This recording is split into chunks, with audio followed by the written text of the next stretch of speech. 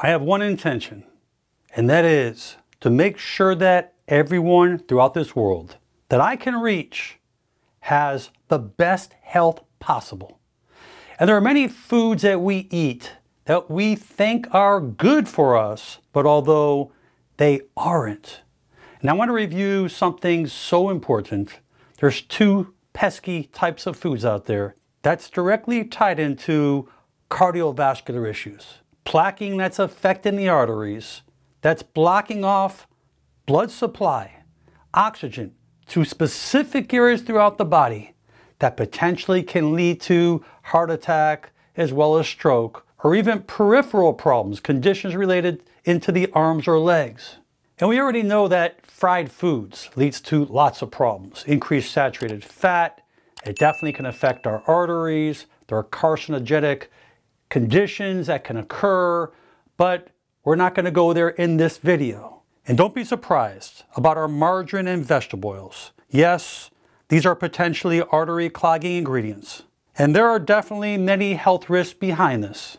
And it's our trans fats, it's those liquid oils that are turned into solids, like our margarines and shortenings.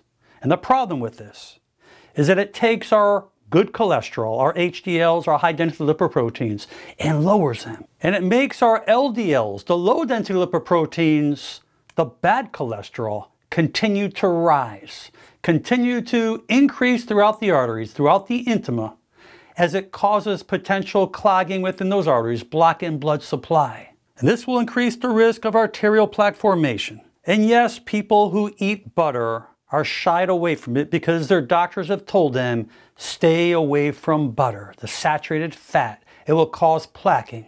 Well, grass fed butter is extremely healthy. It's okay to have saturated fat. It's natural. It's the whole state. It's not processed. You want to be aware of the partially hydrogenated oils, including sunflower, peanut, corn, canola oils, because these oxidize rapidly when they're heated.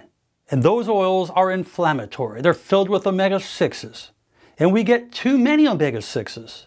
And omega 6s cause inflammation. And that's what leads to plaquing within our arteries. It's just not cholesterol. It's just not butters. It's not just saturated fat. It's oxidized bad cholesterol. This is what leads to more inflammation, and then we get a cascade of white blood cells that start to help those arteries, and although they're doing destruction to it. And it's always good to supplement with omega-3s because this has antioxidant and anti-inflammatory effects. This improves the function of the endothelial cells that line the blood vessels, those arteries. And those omega-3s will offset those omega-6s, and it will help reduce and reverse that atherosclerotic plaque formation. And the other unexpected food that many of us wouldn't believe are artificial sweeteners. And it's being used by the millions and millions worldwide because people are gaining weight. They don't want to take in more sugar. Yes, you may be diabetic, pre-diabetic, insulin resistant, but there are other natural ways that things that we can take in that are extremely healthier. And artificial sweeteners such as aspartame and saccharin can potentially lead to more clogging within your arteries. It's been associated with adverse effects on blood sugar and lipid metabolism. And in a recent study, the research reported that erythritol, a common type of artificial sweetener, is linked to increased risk of heart disease and stroke. And these were primarily related to those who had higher blood erythritol levels. And the side effects of these artificial sweeteners include digestive issues, increased blood sugar levels, a higher risk of cancers, increased blood pressure, and adverse effects on those with pre-existing mood disorders. And research has found that some sugar substitutes can alter the human microbiomes in a way that can change your blood sugar levels. And artificial sweeteners can affect the healthy bacteria in the gut microbiome into harmful microbes and potentially cause serious health issues. And those natural sugars that doesn't play a significant role on our glucose and insulin, nor our microbiome, are stevia as well as monk fruit. And the purpose of this video is just to give everyone a wake-up call.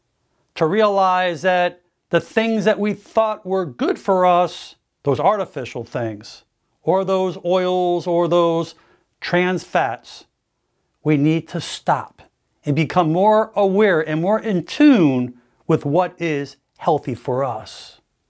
I hope you enjoyed this video. Please share it with your friends and family. And most important, make it a great day.